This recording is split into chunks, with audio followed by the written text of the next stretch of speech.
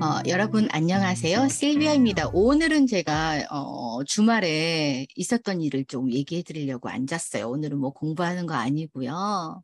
뭐 새로운 표현 알려드리는 거 아니고 여러분에게 하나의 정보를 좀 여쭤보고 싶어요.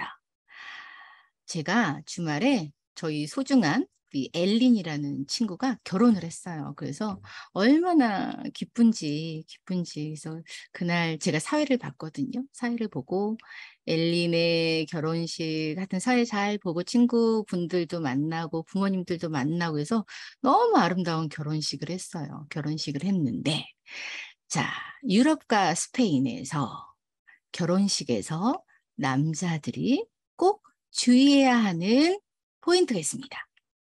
하지 말아야 하는 행동. 그것은 무엇일까요? 그것은 무엇일까요? 어, 혹시 알고 계시나요? 음, 남자들이 절대로 이 행동을 주의한답니다. 알고 계신 분은 여러분들 한번 메시지로 남겨주세요. 그러면 제가 정답은 내일 녹화할게요. 오케이? 어때요? 괜찮죠? 자, 결혼식에서 남자들이 절대 하면 안 되는 행동은 뭘까요? 자, 알고 계시는 분은 댓글에다가 답변을 남겨주세요. 어, 정답 맞추신 분은 저를 만나러 오신 밥 사드릴게요. 자, 여러분 감사합니다.